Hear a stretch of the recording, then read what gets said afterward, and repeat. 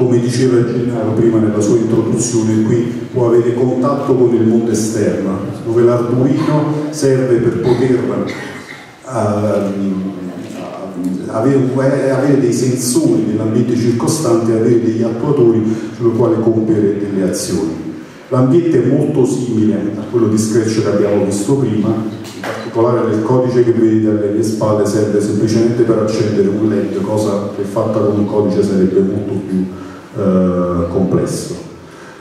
Eh, in conclusione, ho segnato alcuni punti che, con i quali volevo concludere. Abbiamo la possibilità quindi di fare eh, preparare, abbiamo la necessità di preparare i bambini ed affrontare la complessità con la quale si scontreranno nei prossimi anni.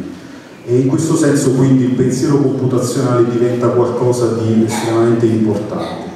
Scratch è un linguaggio di programmazione adatto all'implementazione di esercizi educativi.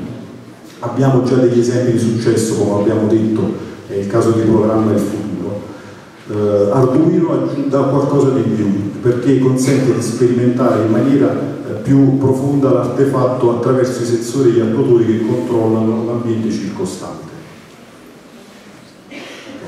Io ho terminato la mia...